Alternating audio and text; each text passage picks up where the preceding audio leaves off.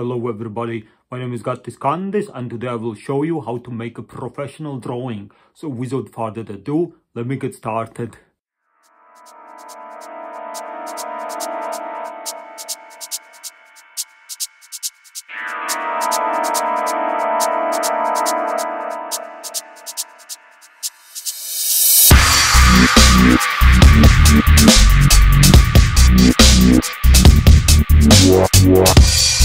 You.